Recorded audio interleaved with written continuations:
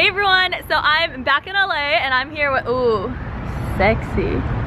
I'm back here with Kelvin and we're at the Sushi Chef Institute down in Torrance, which is like in between LA and OC, if that gives you a better indication of where we are. But we're super excited. We're here for a media night, so I mm, think we're gonna have a lot of delicious food. So let's go ahead and head in there and yeah. All right, so Kelvin and I are actually the first people here, it's good. See, we're early. Better early than late. But okay, I wanna show you guys this super cool map. So the Sushi Institute basically, yeah, trains sushi chefs, and here are all their like students, like where they're located now. Is that so cool? And then they have like a wall here with a lot of their um, graduates. It's, it's like a real university. It's so cute. But yeah, I'm super excited to go inside and try the food once they're ready, since we're 15 minutes early. All right, so we're walking inside. Oh my gosh, so cute. All right, so we have traditional music, different soy sauces, water, karaage. So this is basically like Japanese fried chicken, more sauces. I see fish over there. All right, let's keep perusing. So here you have the sushi chefs making it here at the Sushi Institute. You can see we have Let's see, that looks like yellowtail salmon shrimp. What is this one? I'm not really sure what. It's uh, red snapper. Red snapper. I've never seen it with the skin on like that. Yeah. That looks super good. It tastes better with the skin on. Ooh, okay, and then what about this one? So that's tamago. Tamago. This was the eggplant. Eggplant. Okay, and then I don't know what this. That's the uh, mackerel. Mackerel. Okay.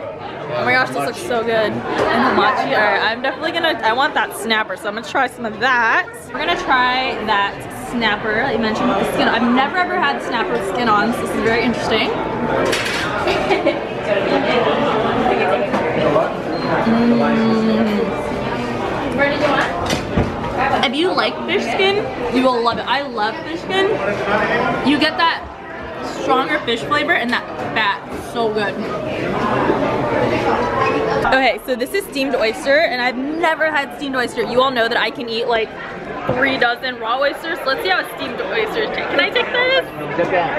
And it's from Japan. Oh my gosh, look at this. That looks amazing. All right, let's see my first steamed oyster.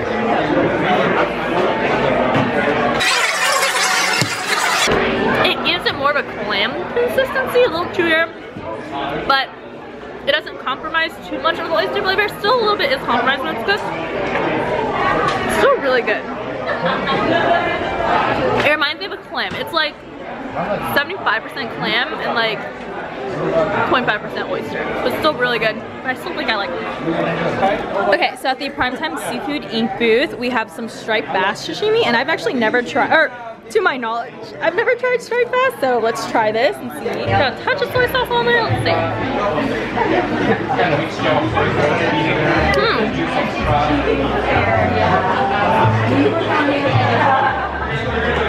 It's like a cross, in my opinion, of the texture of like snapper or albacore, but with like the taste of tuna, if that makes sense. Wow, I would definitely know if I ate that because I can't describe it. It's not like, oh yeah, striped bass. So I don't think I've tried it. I think that was the first time. And wow, that's really, really good. You can see her over there making that sashimi. Woo.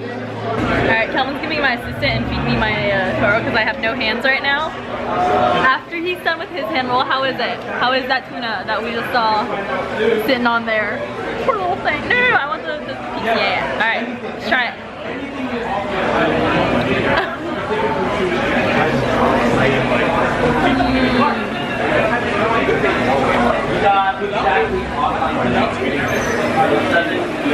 It's tender. It melts. It's meaty, it's hearty. It's good. I have the same thing in a hand roll too.